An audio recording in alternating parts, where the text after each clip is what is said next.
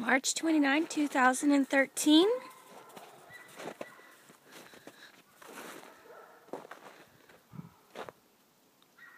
It's a nice sunny day. It's about minus six outside.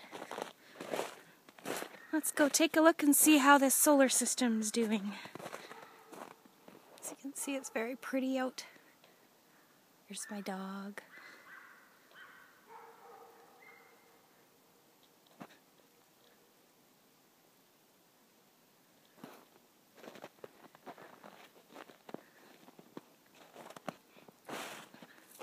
Keep my batteries out in the set shed, so we do have to do the cold compensation thing, but they do very well. Just got to make sure they're charged up when it's really cold out.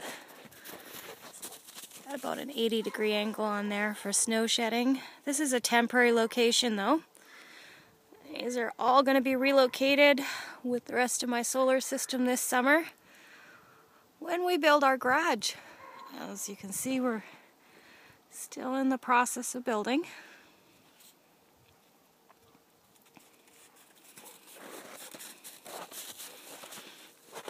It's worked out really quite well. I've got a 1500 amp hour battery bank and uh, we just threw some insulation on top. We have uh, water misers on most of them. That'll reduce the uh, watering of my bank. You know, it is really important though when you're equalizing your battery bank once a year there that you uh, remove the water misers while you're doing that. So I recommend that you go on a manual uh, equalization run because uh, that way you can choose when to do it. Okay, so let's see how we're doing today. I'm not quite sure how we're going to do this. It's so bright you can't see uh, the screen here.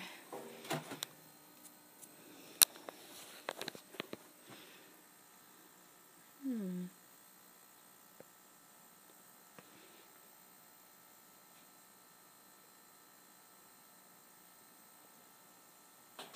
Okay, so right now our 48 volt battery bank is sitting at 51 volts and our 2.2 kilowatt solar array is producing 2,192 watts and we've got 42 amps. Can you see that? I know it's a little bit difficult with the glares.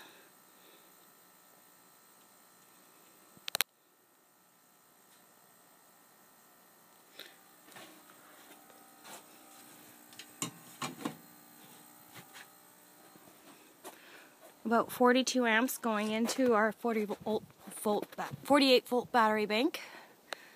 And again, it's nice, sunny, and clear. Again, it is March 29. We're about minus 6 outside. And we're having a nice, bright, sunny day.